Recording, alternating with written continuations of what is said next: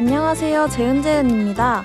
오늘은 NCT DREAM 맛 앨범의 postcard book을 사용해 달력을 만들어 볼 거예요. 준비물을 준비해 줍니다.